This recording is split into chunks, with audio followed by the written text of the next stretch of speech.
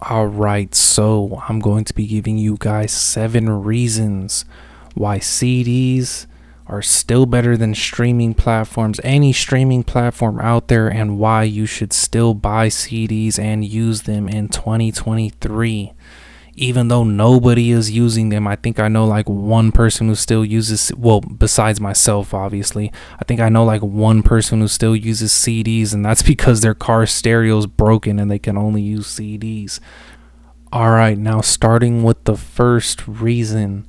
The first reason would be the audio quality difference between a CD and between any streaming platform out there. So right here, I'm going to use Spotify and YouTube as an example compared to CDs. On Spotify, there's a setting where you can change the audio quality at what you're streaming it on. Right here, I have normal and very high, but I believe there's a few other options, but I just kept two just to keep it simple. So the normal setting on Spotify lets you stream music at 96 kilobits per second. The very high setting, which is the maximum setting, it lets you stream music at 320 kilobits per second. That's pretty good. On YouTube, and this would be on YouTube Music, of course, but it still uses YouTube videos. So on YouTube, the normal setting lets you stream music at 128 kilobits per second. The high setting lets you stream at 256 kilobits per second. Obviously, the higher the number, the higher the quality. So 320 is pretty good, and that's actually the highest that an MP3 file can go. But what a lot of people don't know is that a CD is actually 1411 kilobits per second. My thing is is if you want the full experience and the best experience, then why not just listen to it at the highest quality possible, especially if let's say you have a very expensive headset and especially if you have a sound system in your car or a sound system in your house. Let's say you have a whole sound system done in your car and you got a subwoofer, then you're going to want to use that stuff to its maximum advantage and put a CD in there. Why wouldn't you, you know? All right, now the second reason. My second reason would be that there's a lot of music that's not available on streaming platforms. Now on YouTube, yeah, YouTube has everything, okay? But like I just said, mentioned in the first reason, a lot of that stuff is low quality and a lot of that stuff you don't even know where it came from. They could have got like the lowest quality one because anybody could post on YouTube, anybody, and on Spotify. And I know a lot of people have experienced this. They heard a song somewhere and it's not available on Spotify. Guarantee you, it's on a CD, on an album, or a compilation somewhere.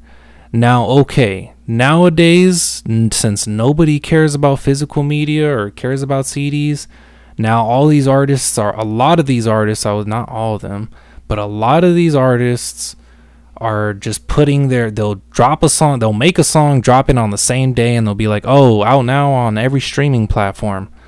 Well okay yeah. Stuff like that is most likely not going to be on a cd but let's be honest if there's if their stuff is not on a cd that's because they're probably not a good artist because they're definitely not good enough to get a record deal and put their stuff out there on cd as well but CDs are definitely, more than definitely, still coming out. I believe the newest CD I ever bought was Ice Cube's last album. I think that came out 2018. And I didn't even purchase that one online. I actually went to a record store here in Pasadena on Colorado Boulevard and they had it in stock. They had like a couple copies. So CDs are more than definitely still in circulation, especially for an artist as big as Ice Cube. Now, reason number three, and I feel like a lot of people might disagree with me on this one, or they might say I'm just full of it or whatever, but I honestly, truly feel like there's a psychological factor that goes into buying a CD.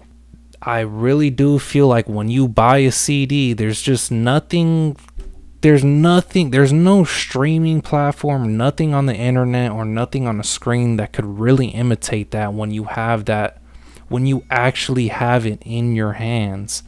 And I feel like this honestly psychologically look, I'm not no neurologist, psychologist.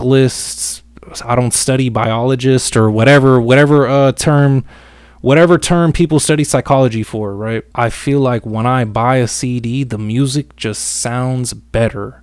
And I'm not even talking about the audio quality um, that we were talking about on the first reason. Like, I'm just saying it just sounds better and it's just like there's no, there's no other feeling that can imitate when you got the CD in your hand you got all the artwork on there too now my fourth reason with CDs you can make a digital copy of every CD you have. So with all my CDs, I rip copies of all of them. And yes, they're in the full quality, the WAV format. And another thing too is that it'll have all the correct metadata too. It'll have the artist, the title of the song, the contributing artist, the album, the year that it came out, etc. You guys get the point. So now, because of this, if I really wanted to, I can just get rid of all my CDs and I'll still have them in the full quality. Put it onto a USB, put it in my car, and just play it like that. Now, on to number five, which I briefly went over with the psychological factor. But this has all the artwork, the album photos, this has all the credits and all that. Things that are kind of a bit difficult to find online. You won't always see all these pictures online, but you'll see uh, if once you buy a CD, you just you see a whole lot more than just the album cover. Like when you go onto a streaming service, all you see is the album cover, but when you buy a CD, there's artwork on the CD. You pull out the album cover and it's a whole booklet with like stuff you can open and then there's a cover on the back with the track list things like that. This one, this reason's pretty short, self explanatory.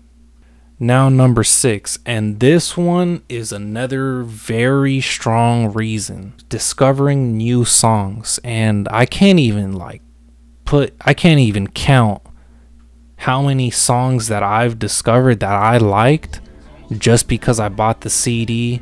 Because I heard one song I like on that CD, then I bought that CD, and then I just heard a bunch of new songs that I liked. And I think the best example of this for me personally would be the LAX uh, album by The Game. He had an album, um, and on the bonus CD of this, on the deluxe version of this album, it was actually it's called Big Dreams, right? That's the name of the track. It's the first track on the bonus CD, and this game was this song was actually in a pretty well-known game called Midnight Club Los Angeles one of my favorite songs ever, right? I bought the CD just for that song, just because I like that song so much. And when I first, when I heard, after I heard this album, even the bonus disc too, this album was complete, for me personally, obviously, this album was a complete 10 out of 10. Ended up adding each and every song to my playlist. And that, because when you buy a CD, even if you just like one song, you're like, okay, well, damn, you know, I put ten dollars into this. You know, I kind of like it would kind of be a waste if I just used it for one song. You know, I got to play the whole the whole thing through. So regardless, you're gonna at least listen to the whole thing at least one time, and find out and find some new music that you like. Because I find oftentimes, even for me, when I use streaming services, we tend to curate the music to ourselves or maybe just replay the same song and we don't want to go out and listen to something new. And now, seven, my last reason, and this is honestly going to go both ways, but it's convenience. And I know this might sound stupid because I have over like, man, I don't even know. I have like 200 CDs. I think I carry like maybe 20, maybe 20, 25 in my car. So I know you're probably thinking, how is that convenient if you have to switch out? You literally have to pull out a little box, get the CD you want, or get the CD that's already in there, put it back in, and then get the other CD out, put it in. Now, yeah, you can get like a booklet and just take out all the discs and put it in in the binder, or not a booklet, uh, excuse me, a binder that just has disc slots and put it in that. that I would strongly not recommend, or how do I say, like, I would vote against that absolutely because you're throwing away a lot of artwork and you're honestly also scratching the CD when you put it in those binders and stuff. You're throwing away a lot of artwork that could honestly go up in value one day when that CD, you know, they're not they're not pressing uh, any more copies of that CD and then the the value starts to go up. I mean, I just sold um Snoop Dogg's album, the Doggystyle album, classic album, right? Sold I sold it for $80. I had I had listed it for $100. Guy made me an offer for 80 and I'm like, "Well, all right, I'll accept it. You know, it's just sitting here." The reason it is sold for so much is because it was actually a first issue. Obviously, it was mint condition, just no scratches.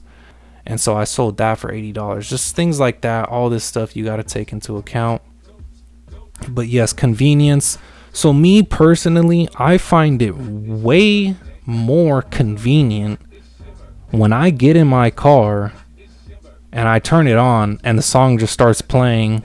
I don't even got to worry about that. I don't even got to worry about queuing up songs, my stupid Bluetooth connecting, which I, okay, maybe other people don't have that problem with their Bluetooth connecting, but I know for me, my, for some reason, I can never like, I can never get my Bluetooth to connect on the first try. Uh, but that could easily be avoided with an aux cord. But then you got a cord in your car, you know? And so, me, I just turn on my car. My CD is already in there. When I put a CD in my car, I usually leave it in there for like maybe a week, maybe a week or two. And I'll just be listening to the same album because sometimes, and I've noticed this a lot of times too, is um you got to re-listen to the album and some some songs will jump out at you and you'll realize damn i really like that song you got to listen to it a couple with that being said uh, if you enjoyed the video and you learned something new like subscribe do all that comment if you have any questions before you want to buy um, a cd and you're like hey where should i get my cds from just leave a comment i'll respond uh, any questions, anything I left out and I didn't say in this video. And that's about it. Hope you guys enjoyed. Bye.